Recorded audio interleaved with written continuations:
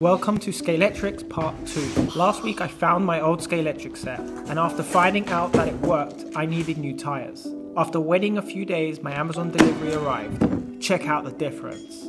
Let's add some cool sound effects while I change the tyres. And I can even use the old tyres as barriers. Now for the moment of truth, and we have lights out. Follow for next week where I rediscover my train set.